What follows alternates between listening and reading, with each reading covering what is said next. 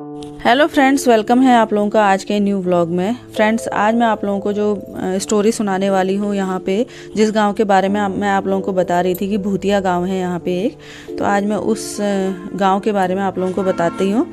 ये चंपावत ज़िले में आने वाला गाँव है, स्वाला गाँव कहते हैं इसको। और इस गाँव में कोई भी नहीं रहता है अभी।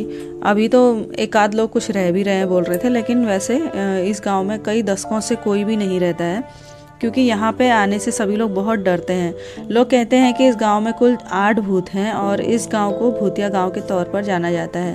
कहते हैं कि इस गाँव के भूत किसी भी इंसान को यहाँ पे बसने नहीं देते हैं। उन्नीस सौ बावन से पहले ये भी एक आम गाँव जैसा ही हुआ करता था, लेकिन इस साल उन्नीस सौ बावन में यहाँ कुछ ऐसा घटित हुआ कि जिसके बाद ये पूरा गाँव वीरान हो गया।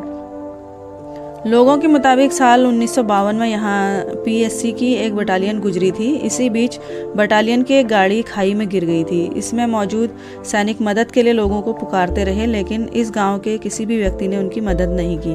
और बोला तो ये भी जाता है कि लोगों ने उनकी मदद करने की बजाय उनका सामान ही लूटना शुरू कर दिया।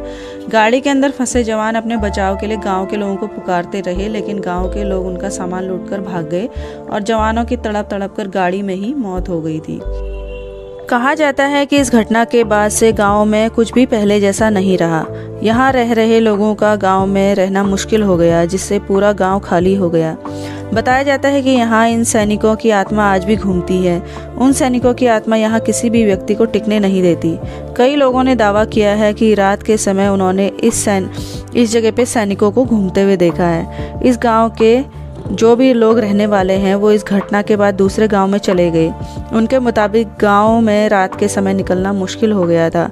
हालाँकि लोगों को अपनी गलती का एहसास हुआ और उन्होंने जिस जगह पर वह गाड़ी गिरी थी, वहाँ एक मंदिर का निर्माण भी करवाया, लेकिन स्थिति में खास बदलाव नहीं हुआ। आज भी वो मंदिर वहाँ पे मौजूद है और हर यहाँ से गुजरने वाले व्यक्ति इस मंदिर में सिर झुकाने ज़रूर जाता है, लेकिन ये गाँव आज भी खाली है।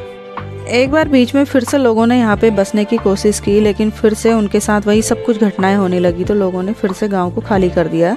और अभी कुछ लोग आए हैं वहाँ पे, एक फैमिली देखी थी हमने वहाँ पे तो शायद हो सकता है कि धीरे धीरे लोगों का ये अगर वहाँ पे टिकने दें उनको तो हो सकता है। अंधविश्वास भी हो सकता है, लेकिन अंधविश्वास तो नहीं होगा जब पूरे गाँव वाले पूरा गाँव ही खाली करके चले गए, सबके साथ ऐसा, ऐसी घटनाएँ हुई तो। इसीलिए ऐसा भी नहीं कह सकते हैं। देखिए कब तक वहाँ पे दोबारा से लोग आते हैं। ये तो फ्यूचर में ही पता चलेगा। और आप लोगों को पहाड़ों में तो ये कहानी किस्से बहुत ज़्यादा सुनाई देते हैं भूत के, लेकिन एक दो भूतों की कहानी सुनी थी हमने और ऐसे तो नहीं सुना था कि पूरा ही गाँव खाली हो गया। गाँव की और आठ आठ भूतों की कहानी तो नहीं सुनी थी। पहला मैंने ऐसा केस देखा तो इसीलिए मुझे लगा कि आप लोगों को भी ये कहानी सुनानी चाहिए। इंटरेस्टिंग कहानी है ये और ये कहानी हमको बताई थी गाड़ी के ड्राइवर ने तो उन्होंने हमको इस गाँव के बारे में बताया।